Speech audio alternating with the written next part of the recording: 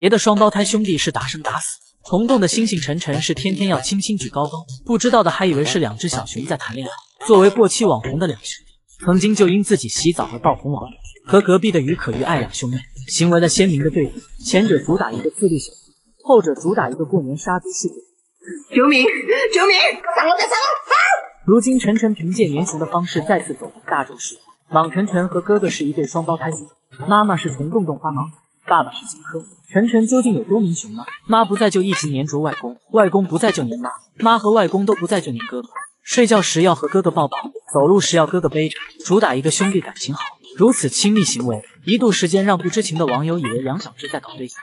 现在就连上班下班也要黏着哥哥，你看嘛，熊之大一个洞口塞不下。卡门事件还不止一次呢，别的大熊猫是双雄傍地头，谁让谁是狗。而晨晨和星星，那纯属是晨晨太黏哥哥。虽然妈妈到身边时，两熊也为争宠而打架。如今妈妈不在身边，星星可宠弟弟，干啥都惯着他，走路要把弟弟背着，就连弟弟想要越狱，星星也是惯着他，用手把弟弟举高高。真是兄弟齐心，其利断金。您瞅瞅。就连挠痒痒，两兄弟都是神同步。吃东西时，晨晨还会把脚靠在哥哥身上，主打一个哥哥疼弟弟。别人都喜欢爱整活的晨晨，但在我看来，默默付出的星星对晨晨的那份爱才最难能可贵。别的大熊猫都是和妈妈天下第一好，只有晨晨和哥哥是天下第一好。希望两小只永远快乐健康的成长。最近一位网友的评论被我逗笑，他说为啥虫洞都是可爱的熊猫宝宝？而北洞全是老光棍，正如这位网友所言，一提到虫洞和四川的大熊猫，全是喜闻乐见的熊猫宝宝，像于可于爱、芒小五、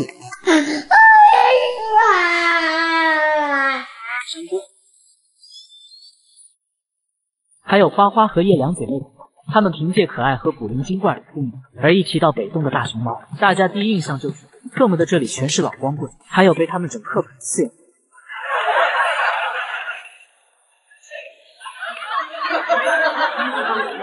尤其蒙氏三兄弟，三兄弟四个蛋，老二蒙二占一半，急得他们的老母亲萌萌那是连夜坐火车去女娲庙给他们求姻缘，结果并无卵用。该阳光大男孩的整天还在阳光大男孩。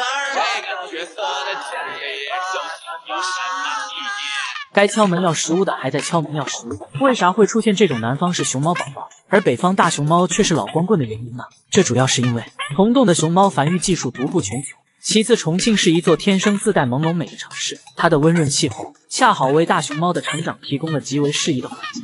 在这四季如春的地方，熊猫宝宝可以无忧无虑的嬉戏玩耍，不受严寒酷暑之苦，所以在这里繁育和成长的熊猫宝宝较多。而北京动物园作为中国最古老且规模庞大的动物园之一，拥有丰富的野生动物养殖经验以及顶尖的专业护理团队。这些经验丰富的人士熟知如何照顾大熊猫的生活信息，并能及时提供适宜的医疗服务，以应对各种潜在健康问题。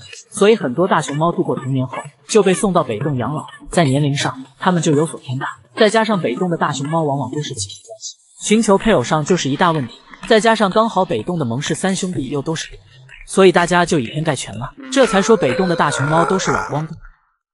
这只想要产奶爸两耳屎的大熊猫叫做文静，它是妈妈雅丽的第三个孩子。都说雅丽专产刀疤小熊，这一届的文静并不文静，下一届的雅致也不雅致。文静之所以要扇奶爸，其实原因也很简单。这天由于天气太热，奶爸怕熊孩子们中暑，下午三点奶爸们就来哄小熊回家。经过一番努力，其他的小熊都收回去了。唯独小辣椒文静不肯回家，两个奶爸本以为盆盆奶会管用，哪知文静不仅原地赖皮，还当场追赶起了奶爸。网友曾不欺我，文静果然不文静，奶爸那是一路的连哄带骗，文静是一路的撒泼打滚，他哄他追，他们插翅难飞，五米的距离，奶爸硬是哄了五分钟，这才抵达门口。文静本来就很生气，看到奶爸还推自己的屁股，文静终于是忍无可忍，直接待在门口就不走了。他推他头，他心里难熬，转过身就爆发了起来。对着奶爸就要铲他两耳屎，烦死了！发泄完后，这才灰溜溜进去了。到了第二天，太阳依旧炙热，还是熟悉的节奏。其他小熊已经回到室内，又只剩下文静在外场。经过上一次的教训，今天的两名奶爸不管三七二十一，直接抱着文静就回家了。现在的文静也才一百多斤，两人合力还能抱得起。不知道成年后的他，这小脾气又有谁能制裁？不信你问问隔壁的孔雀，只因为路过文静的院子。就遭到文静一路的穷追猛打，要不是跑得快，毛都要给撸完。这一点孔雀沈王爷就深有体会。就因为跑得慢，被暖暖从外场追到内场，被逮住后就是一顿暴打。最终的结果便是沈王爷的羽毛差点被拔光，还好暖暖没痛下狠手，最终捡回了一命。现在的沈王爷看到暖暖就害怕。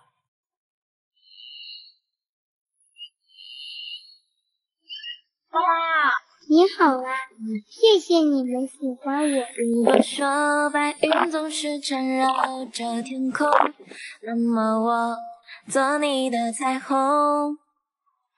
如果说月亮是夜空的瞳孔，那么我做你的烟火。我想环游整片星空，找到你的星球，摘下换你的笑容。穿过了银河的尽头，带着我的温柔，终点在你的心上降落。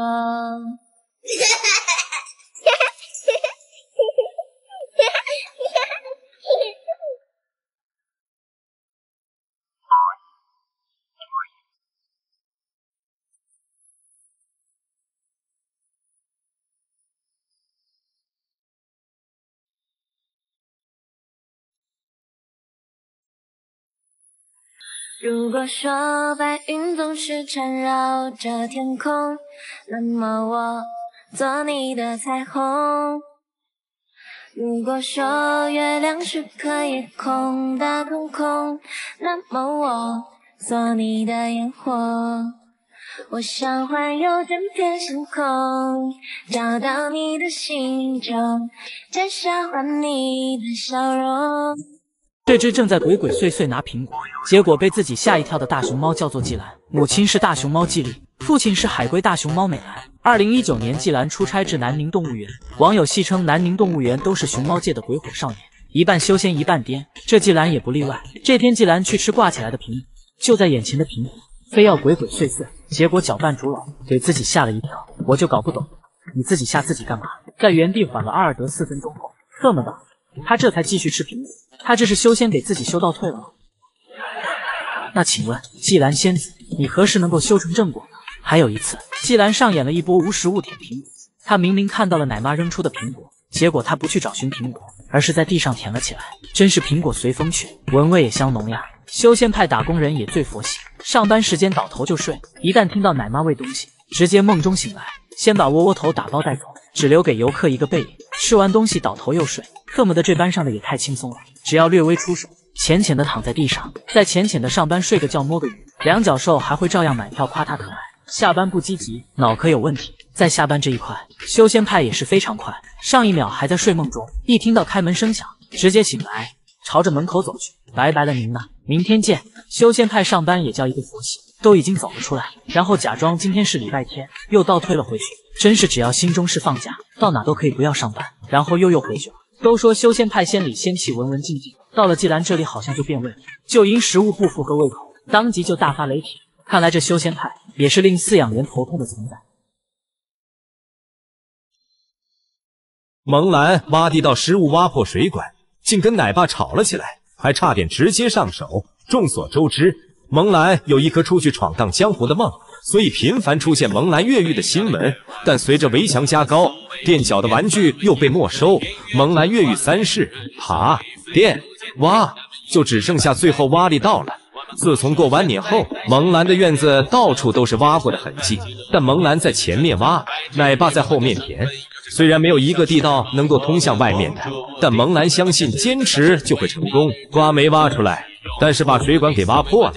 蒙兰顿时汗流浃背，被游客发现后更是手舞足蹈，一屁股就把洞口挡住，心虚的头都不敢抬起来。随后用罐子、用石头都尝试去堵，但水流却源源不断。蒙兰刚抬头准备躲起来，就正好跟奶爸对视上了，场面大写着尴尬。当着众姨的面，奶爸为了给蒙兰台阶下，让他回圈舍休息了。但蒙兰忙活了一整天。好不容易挖出个土坑，却又被奶爸给堵上了，气得蒙兰火冒三丈，趴在围栏上要求干架，抬起他那四十码的大脚板，难道想要飞檐走壁不成？蒙兰火气未消，隔天就把奶爸种的小树苗给拔了，还躺在木拱桥下面一顿乱啃。然而这一切都被奶爸拍个正着，这奶爸怎么回事？一天没事干，怎么老是监视我呀？萌兰一巴掌过去，赶紧把视频给我删了。奶爸也怕萌兰哪天越狱成功，跑来报复自己，所以当着萌兰的面给删除了。萌兰这才屁颠屁颠的跑开了。为什么说萌二是全网最讲究的小熊呢？从以下三点可以证明：一、掰竹子，都知道萌二掰竹子是人教版。由于跟妈妈分开的早，很多东西都是跟奶爸学的。奶爸掰竹子的时候，就是两只手从两端口往中间折，期间发力的时候，奶爸就是龇牙咧嘴。所以萌二每次掰竹子都是龇牙咧嘴，讲究到就算忘记表情输出了，也会在掰断竹子后补回来。二铺凉席，萌二懂事的让人心疼，人家是豪华大床房，萌二则拥有一块凉席，都非常爱惜。起床时还知道把凉席叠起来，凉席脏了就拿去晾晒，还趴在上面将凉席铺散开来。三拉青团，萌二从来不在院子里乱拉青团，因为他知道奶爸到处收青团很累，而且影响自己的形象，所以萌二的青团都是排成一排排的。但如果萌二犯困的时候，他就不太愿意起身去拉。所以萌二会提前做好准备，先把粉碗从木架上推到地上，随后检查位置精不精准，最后调整好粉碗到最佳位置，以便于萌二拉青团的时候，只要屁股一撅，青团就掉到了粉碗里，也不至于满地都是青团。粉碗也只要拿去洗洗即可。但这可是妈妈萌萌的饭碗，若是被萌萌知道这事，大家说萌二会不会挨揍呢？胖大海要跟萌兰通地道了。之前是萌兰在院子里到处挖坑，现在胖大海也开始挖坑了。但咱就说不能找个没人的地方挖吗？不过也能理解，胖大海刚出道，还没有什么经验。从他的挖的姿势就可以看出，人家萌兰是挖地道，用来越狱的。他倒像是挖宝藏，要踏上暴富之路吗？果真是萌兰邻居，近朱者赤，近墨者黑。萌兰都闹出这么大动静，胖大海怎能不掀起点风浪？主要是萌兰的带动性太强了。想当初胖大海没来北洞之前，是出了名的胆小熊，还因一张躲在满是青团的角落的照片火爆全网。长大后也十分社恐，奶爸奶妈为了让他在北洞不那么孤独，还给他专门缝了一条布偶鱼，取名胖大鱼。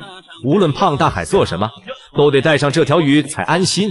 因此，大家都逗笑地说他和鱼谈恋爱，就是这样一只小熊，却因为表哥萌兰而画风突变。胖大海跟萌兰拔河比赛，还一起上房揭瓦，如今又学会了挖地道。实至名归，西直门四太子福星劝胖大海的奶爸奶妈们注意了，下一只越狱的小熊可能就不是萌兰了，而是意料之外的胖大海。都说萌兰智商超群，那么她的模仿能力到底有多强呢？萌兰小时候，美奶妈拉着她给窗台上攀爬，还让萌兰自己发力。长大后，萌兰就越狱成功了。所以说，萌兰越狱罪魁祸首是美奶妈。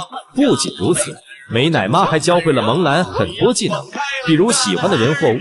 就要紧紧抱住来表达爱意，所以萌兰她遇见把自己当亲生儿子的发姑奶爸时，她就站起来抱住奶爸的头，没差点让发姑奶爸见到了太奶奶。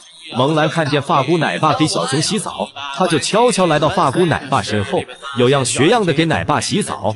发姑奶爸承蒙厚爱，竟能够让国宝亲自给自己洗澡。最经典的画面是发姑奶爸抱着萌兰回家。奶爸说一句，萌兰就答一句。你晓得你这个是多少钱？哎，胖儿，嗯，胖儿，嗯，胖儿，嗯，胖儿，嗯。被冻的徐老爷来跟萌儿玩耍，萌兰发现徐老爷剪了个新发型，萌兰第二天就给自己塑造，不能说有点像，只能说一模一样。众所周知，萌兰的秋千是铁架，差点给萌兰屁股烫冒烟。徐老爷找来一块布给他铺上。萌兰回来后，学着老爷去整理。吃完竹笋，还知道用布擦嘴抹脸，讲做到拿去晾晒杀菌。上体育课时，徐老爷为了锻炼萌兰后肢力量，让萌兰站起来做深蹲。老爷一个，萌兰就跟着蹲一个。萌兰蹲完老蹲。看来养大熊猫都可以减肥了。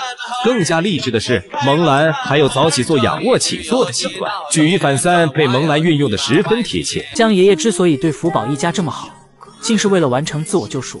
三十年前，江爷爷还是位帅气的小伙。大熊猫丽丽去到韩国后，江哲远作为他的奶爸，这也是江奶爸照顾的第一只熊猫。丽丽长相十分可爱，号称熊猫界的西施。但丽丽身体一直不太好，当时的医疗条件又很欠缺，再加上丽丽水土不服等情况，所以大家又称她为病西施。江奶爸为了改善丽丽的身体，费尽了一切办法，但最后也只能送回中国。当时大家都说丽丽没有过上一天好日子，这让江奶爸心里十分愧疚。十多年后。江爷爷再次来到中国挑选熊猫，还特意去看望了丽丽。神奇的是，丽丽竟然还认得江奶爸。看到丽丽生活很好，孩子奥利奥又是煤矿集团总裁，江奶爸倍感欣慰，但还是心有余悸。第一眼就看中了和丽丽长相十分相似的爱宝。但大家都知道，爱宝的童年并不快乐，这也使得爱宝的性格既胆小又敏感，照顾起来更加麻烦。按常理来说，江爷爷绝对会选择开朗的大熊猫，但江爷爷十分同情爱宝的遭遇。下定决心要让爱宝改变状态。刚来到韩国，爱宝就出现状况，不肯出外场。好在有中国的奶妈刘娟相助，让江爷爷把水果切成小块，从门口摆放出来。最终，爱宝放下戒备，来到了外场。江爷爷对刘娟奶妈也十分敬佩，再加上江爷爷的真心付出，爱宝才逐渐适应新的环境，如今开朗活泼起来。江爷爷又想方设法让爱宝跟乐宝相爱，自然繁育了噗噗公主福宝。福宝小时候险些夭折。随之又出现了水泡湿疹，吓得江爷爷连续两个月都不敢回家，一直住在爱宝乐园里，陪着中国专家给福宝治疗。因为他对丽丽的事情还有阴影，于是发誓一定要让福宝好起来。经过几个月的精心照顾，福宝这才脱离危险。后面江爷爷把福宝照顾的怎样，大家都有目共睹。江爷爷也感谢福宝健健康康的长大，否则江爷爷肯定愧疚到有心理阴影了。积压在心里长达二十余年的愧疚，终于在这一刻释怀了。虽然福宝回国让他十分不舍，但他终于可以说出：“我把大熊猫健健康康的送回来了。”有谁能懂江爷爷的这种心情呢？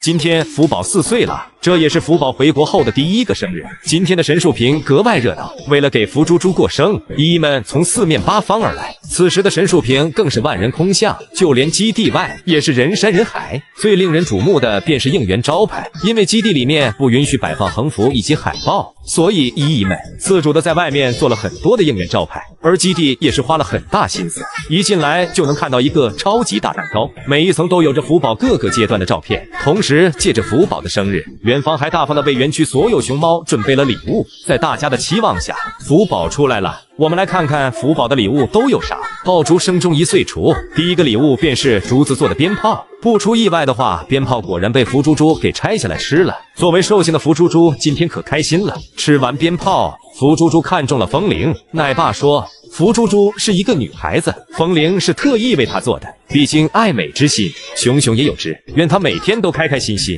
越长越漂亮。而饭桌上摆放了各种礼物，它们都被鲜花围成了一团。这些礼物。可谓是仪式感十足，而福宝最中意的却是这个冰块，他一直在冰块上贴贴，估计他是看到了冰块中奶爸为他准备的水果烧烤，也许他也想用这个方法将冰块融化，然后好吃烧烤。看到今天的福，猪猪高兴，我也打心里笑了起来。恩果就这么一只巧克力色的猫啊，真是被欺负到头上了。你敢不敢少薅点？七大爷也不敢你。你是真放肆呀！其他喜鹊的鸟窝一文不值，你的可是价值千金呀！毕竟用到了全国唯一一只巧克力色大熊猫的毛发，这喜鹊的胆子究竟有多大呢？好毛钱提前给七大爷打个招呼，即使睡着都要给你叫醒，然后亲口告诉七仔，今天不要多少，只要一窝就行。七仔长得奶凶奶凶的，其实胆子小得很。面对喜鹊这种无理的要求，他常常都不敢说 no。看到七仔这么好欺负，喜鹊还常常叫来伙伴一起薅。你瞧瞧这两只喜鹊，一只脚踩着七仔，嘴巴不停薅着毛，简直可恶至极。更过分的来了，喜鹊薅累了以后，逮住七仔的南瓜就是嘎嘎一顿猛吃。喜鹊吃不下了，七仔这才吃剩下的。特么的，这喜鹊简直是杀人诛心，我都看不下去了。有本事你去薅隔壁艾姐的毛去呀！咱们艾姐还小，也才一岁多点。只不过小小年纪的她背负了多条鸟命。去年二零二三年只背负六条鸟命，今年才过几个月，也只增加了两条。目前艾姐一共只背负了八条鸟命。曾经也有小鸟们组队找他寻仇，最后也不了了之。你这只喜鹊胆子这么大，你去找艾姐玩吗？我给艾姐打个电话，让她给你给你特意关照一下。小垃圾，你敢不敢去吗？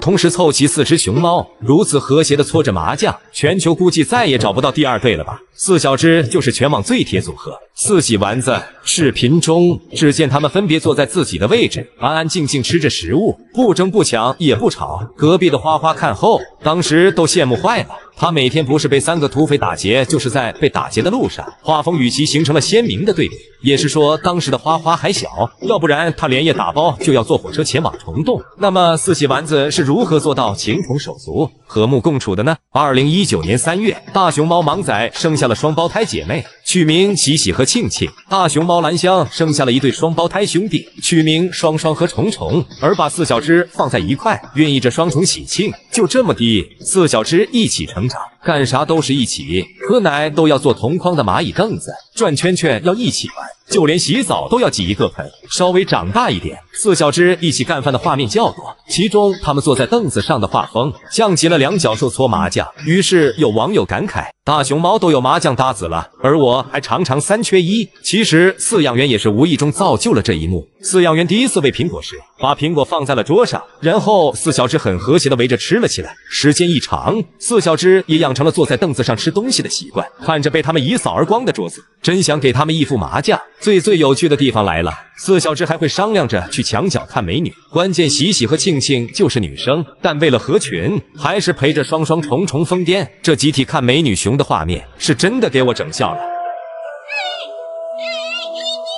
别的小熊还在练习抗摔打训练时，雅致已经骑着妈妈牌小汽车去炸街了。不难看出，妈妈牌小汽车底盘确实有点低。不过这绝对不是因为妈妈肚子大，一定是因为小雅致太重了。雅致是雅丽妈妈的第四个孩子，江湖人称朱老四和老小子。都说雅丽妈妈专产刀疤小熊，上一届的文静不文静，这一届的雅致不雅致。这孩子是怎么做到又老又小的？其实这个老小子最大的特点，并不是老和霸气，而是他是个战五渣。比如这里，雅致看到荣硕靠近，下意识的远离了他，那哪知荣硕这家伙飞扑了上去，对着雅致就是一耳光。挨打后的雅致根本不敢还手。简直对不起他这张霸气的刀疤脸。虽然被香果在一旁劝阻，但荣硕找准时机，又是一记撞击，长最凶、最老的脸，挨最狠、最痛的打。雅致呀雅致，你给我凶起来呀！等小伙伴离开后，雅致一脸的伤心，这才敢对天对地对空气。估计心里对荣硕骂骂咧咧的。对完后，他竟然伤心的哭了起来。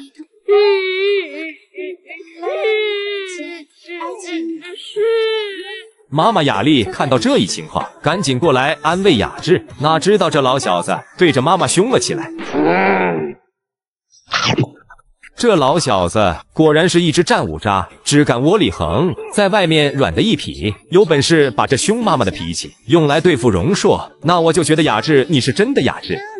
眼前这只从盆中摔倒的大熊猫，便是浦发银行二小姐发发。发发酷爱洗澡，尤其到了夏天，总能看到她在水中悠然自得的身影。这仰泳没有个十年八年，根本学不会。即使到了室内，饲养员也要给她准备盆盆，因为二小姐要泡澡。结果因为熊之大，一盆放不下，发发直接摔倒在地。就连发发睡觉的床都是盆盆形状，让他有一种在澡盆中洗澡的错觉，睡得可安逸了。这天，发发不知从哪里找来一个锅盖，他先是坐在上面玩了一会，然后便把锅盖叼着走向了自己的床。如果不出意外的话，估计又要出意外了。和其他大熊猫不一样，发发的脑回路非比寻常，整来的锅盖不是为了玩，而是为了炖自己。看到这一幕的饲养员和游客真是哭笑不得。见过大熊猫各种奇葩事件，但这种情况我还是第一次见。这顿自己的操作放在熊猫界也是炸裂的存在。花花除了脑回路与其他大熊猫不一样，同时他也是一个自律的孩子。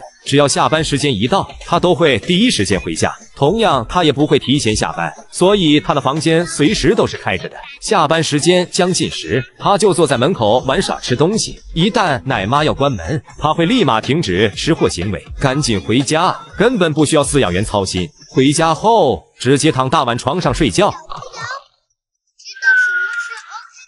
半夜时，他也会爬起来给自己加餐。发发也出过乌龙事件，在九岁之前，大家一致认为就是这么一只古灵精怪且爱整活的发发是只男熊，而他的双胞胎哥哥普普却一直被认为是女熊，还差点成为金虎的媳妇。所以两熊从姐弟变成了兄弟，然后又变成了兄妹。这世界变化快，把粉丝们弄得那是团团转，以至于到现在都还有人搞不清楚发发和普普的性别。熊猫萌兰的学习能力有多强？从游客那里都学来了擦玻璃技能。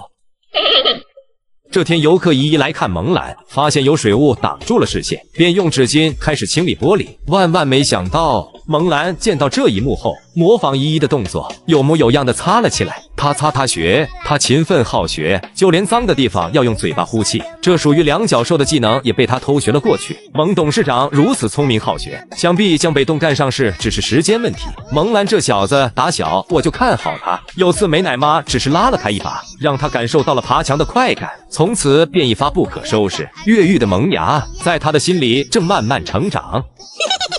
晚上他就自己爬铁栏练习，白天就让小弟充当肉垫，自己便朝着墙上一跃而上。遗憾的是，他想法虽多，但在监控三百六十度无死角监控下，他都以失败告终，并且呀，他幼时因多次越狱，有着多次被关笼子的经历。虽说师傅领进门，修行靠个人，最终还得是皇天不负有心人。在他七岁时，凭借熟练的越狱动作，在北洞上演了一番越狱大戏，最终成功爬上墙头。就在他将要越狱成功时，望着几米高的高墙，他好像有点不知所措。后来得知，这些年他只学会了上墙，并没有学会下墙。于是他放弃该行为，开始重炉深造。他也凭借越狱成为了顶流。还有一次，萌男看到发箍奶爸给他熊洗澡，慢慢儿便有模有样学了起来，用熊掌撩起水花就给发姑奶爸洗衣服。这国宝级的服务，谁看谁不羡慕？还有一次，庆大被铁门卡住了，他想起当初自己卡主时，奶爸救自己的方法，也有模有样的用在了庆大身上。要不是我认识他，我真怀疑他是穿着熊猫衣服的两脚兽。这模仿能力，这学习能力，要是用到读书上，估计他也能上清华北大。大熊猫小丫头有多信任美奶妈？这是小丫头生产前的画面，腹部的疼痛让她难受不已。美奶妈不顾被咬伤的风险，伸出手臂轻轻抚摸丫头的肚子。奶妈的到来让她倍感温暖。二百多斤的她像个孩子，看似是躺在奶妈的手臂上，实则是躺在了奶妈的怀里。即使隔着屏幕，也能感到满满的爱意。有了奶妈的鼓励，小丫头勇敢了许多。数小时后，随着羊水破裂。小丫头平安生下一对双胞胎幼崽，尽管身心疲惫，小丫头还是小心的将孩子抱在怀中，而美奶妈也在全程守候，第一时间给闺女准备了盆盆奶，想给闺女补点身子。没过多久，因为是第一次生子，小丫头患上了产后抑郁症，美奶妈又把爱给到了小丫头，有了奶妈的陪伴，小丫头心情逐渐好转，奶妈就像亲妈一样，用心安抚，用心守候，给了她无私的关爱。为了让熊猫幼崽健康成长。会对幼崽进行多次检查，别的大熊猫都是拿盆盆奶换奶，奶不好吃不换，奶不加蜂蜜不换。而小丫头只要听到奶妈的声音，就会主动把娃给她。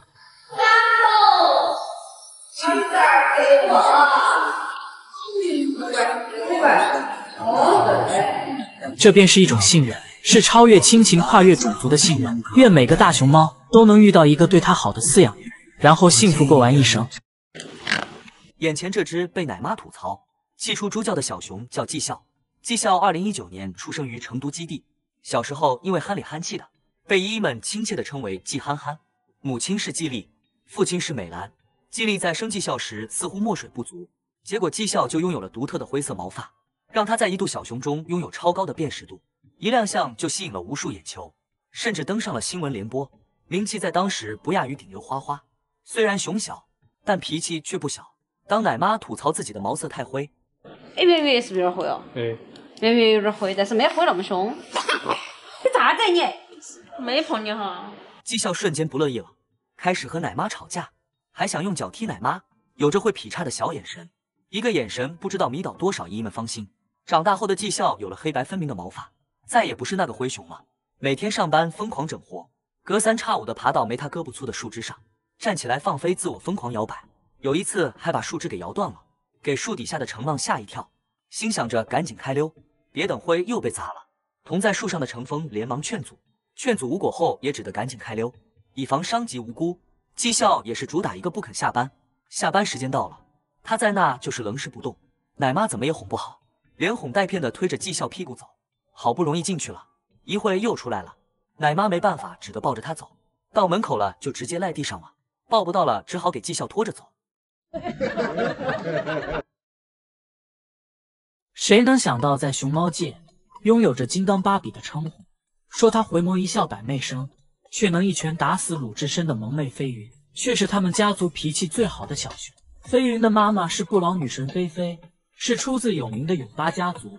菲菲曾经还抓伤过饲养员，菲菲也是第一只因为脾气暴躁，基地不敢送出去打工的大熊猫。飞云的爸爸是暴脾气出了名的卢卢，卢卢是一只被救助的纯正野猫。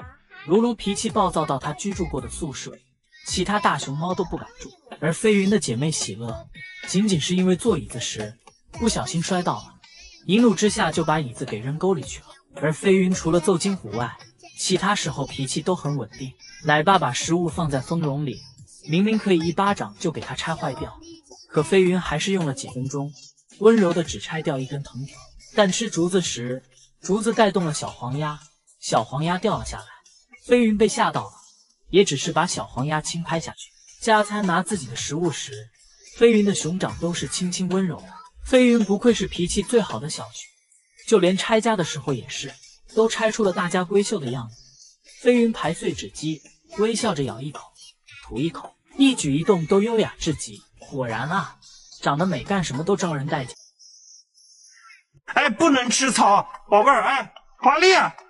奶爸给你烤竹子，奶爸把他放心上，他把奶爸挂网上。这天，华丽看着奶爸，发现没有彩虹屁，下一秒直接吃起了草来。这一幕给奶爸吓坏了。哎，不能吃草，宝贝儿，哎。奶爸之所以反应这么大，主要是害怕自己被挂网上，因为这一届的网友很多实在是太难带了。动不动就投诉和开喷，被冻的奶爸们就深有体会。如画面中被冻的光头奶爸，因行为不规范被游客指指点点，于是当场怒对了那些懂哥。这不，现在全网的奶爸都提心吊胆，所以看到华丽吃草，奶爸赶紧劝阻：“奶爸给你烤竹子，别吃草。”害怕他人指指点点，奶爸直接端来了巨无霸嫩笋，只为堵住黑粉的嘴。哈哈。不愧是坐拥万亩竹海的大熊猫，笋再大也不为所动，只对笋尖感兴趣，然后轻车熟路的扒拉起了笋尖。害怕华丽宝宝吃的不过瘾，还将其送到了外场中，让他直接开启了自助餐模式。这待遇在国宝界那也是首屈一指的存在。然后，然后奶爸又送上了彩虹屁。对，肤白貌美大长腿，我是西安我最美。华丽宝宝的话是温柔善良又大气，优雅高贵小华丽。咱们两个宝宝都是最漂亮、最可爱、最美丽呀，最温柔的小熊啊！哈哈。顺便连心安宝贝也一起夸了，我估摸着这是怕落下话柄，怕网友说他只夸华丽不夸心安。反正这一届的奶爸实在太难了，终归究底都是黑粉惹的祸。